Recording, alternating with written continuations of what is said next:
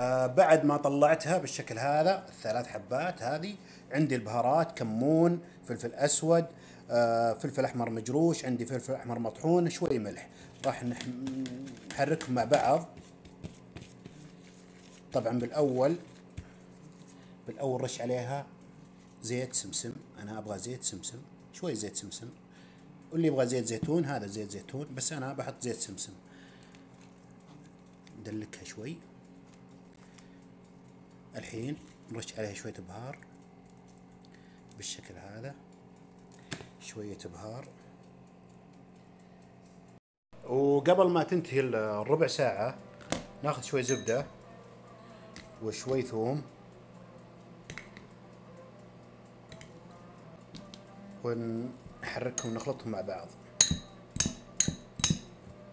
بالشكل هذا. الحين نطلع الصينية.